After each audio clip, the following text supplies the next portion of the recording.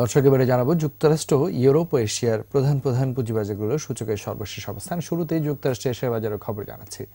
সূচকের ঊর্ধ্বমুখী প্রবণতা নিয়ে গতদিন শেষ করে আমেরিকার শেয়ার বাজার। যুক্তরাষ্ট্রের শেয়ার বাজার জোন্সের সূচক আট পয়েন্ট বেড়ে দাঁড়িয়েছে পঁচিশ হাজার আটশো একানব্বই পয়েন্টে। সূচক বেড়েছে নাজদাকের সর্বশেষ নাজদাকের সূচক অবস্থান করছে সাত হাজার চারশো ছিয়াশি পয়েন্টে, যা আগের দিনের চেয়ে চোদ্দ পয়েন্ট বেশি। ঊর্ধ্বমুখী প্রবণতা রয়েছে নিয়ে কম্পোজিট ইন্ডেক্সে, নিয়ে কম্পোজিট ইন্ডেক্স চব্বিশ পয়েন্ট বেড়ে দাঁড়িয়েছে বারো হাজার ছশো আঠাশ পয়েন্টে। এবারে জানাব ইউরোপের পুঁজিবাজারের খবরাখবর, সূচকের নিম্নমুখী প্রবণতা নিয়ে গতদিন শেষ করেছে ইউরোপের প্রধান পুঁজিবাজারগুলো।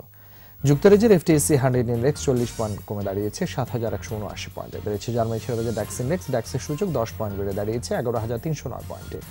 কমেছে ফ্রান্সের সিসি ফোর্টি ইন্ডেক্স, এটি আট পয়েন্ট কমে দাঁড়িয়েছে, পাঁচ হাজার একশো ষাট পয়েন্টে। সুইজারল্যান্ডের সুইজ মার্কেট ইন্ডেক্সও রয়েছে, নিম্নমুখী প্রবণতা। সুইজারল্যান্ডের সুইজ মার্কেট ইন্ডেক্স অবস্থান করছে ন হাজার দুশো ছাপ্পান্ন পয়েন্টে, যা আগের দিনের এগারো পয়েন্ট কম। এবার এশিয়ার পুঁজিবাজারের খবরাখবর জানিয়ে দিচ্ছি, সূচকের মিশ্র প্রবণতা রয়েছে এশিয়ার প্রধান প্রধান পুঁজিবাজারের লেনদেনে।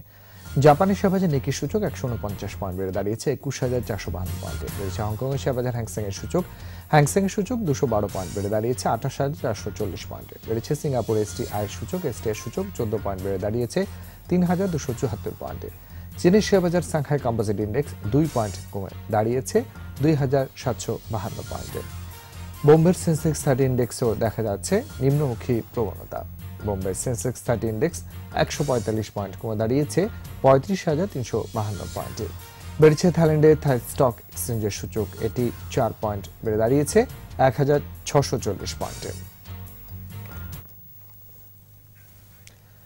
দর্শক, এবারে নিচ্ছে একটা বিরতি, ফিরবে একটু পরে, আর ততক্ষণ আমাদের সঙ্গেই থাকুন।